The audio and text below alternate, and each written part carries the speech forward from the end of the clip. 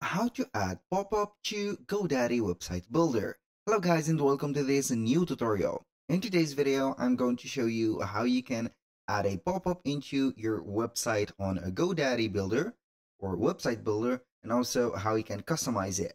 So it is very easy and very simple.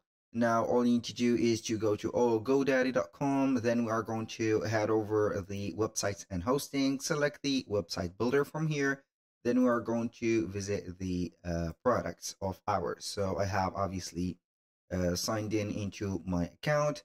Now we are going to see the dashboard that contain the websites that we have created already. So we are going to select one of them. For example, I will choose this. Now we are going to see the dashboard of the website for customization. Now we are going to click on the right side of the screen, which is going to be labeled edit website. This is the button that we seek for and we're going to see the uh, button or the uh, builder opening up.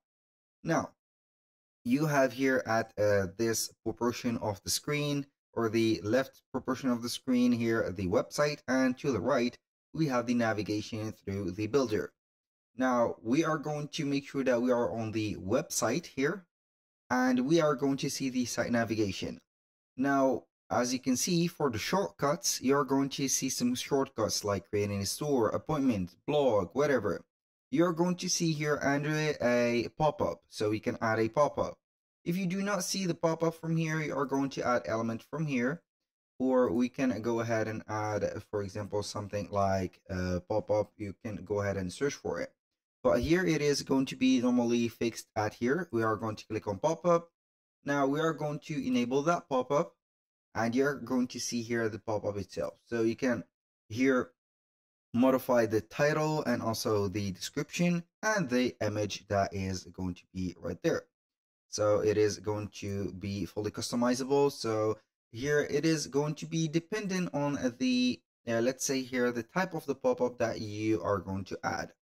So the pop-up on the uh, Squarespace, not Squarespace, but on GoDaddy is going to be a little bit limited um, here uh, compared to other uh, website builder like Squarespace or um, uh, Wix, but it is going to be uh, uh, for the announcement purposes, the promotional purposes, and etc. For example, here we are going to change the announcement to 30% off right there, uh, something like that uh, offer or free shipping, for example, offer, as for example, like that. And then we are going to have here description, get, for example, your, uh, for example, um, offer now. And we are going to put here the label as uh, shop now, for example, and then you're going to link it to, for example, a product, for example, right there you're going to add product or a special category for the product. Here you can go ahead and put a delay for the pop-up. As you can see, you can go ahead and activate it and put a delay of, let's say here, uh, 8 seconds, for example, like that. And then what are we going to do is to click on done. Now for the alignment, you're going to see the content alignment right there. And for the image, you can go ahead and change it and put some zoom right there and here. So you can go ahead and do whatever you want from there. So for example, I'm going to add this picture instead. You're going to see it right here. So that was all for today's video. Thank you guys for watching. I hope that you have enjoyed the content and hope to see you soon on the next one.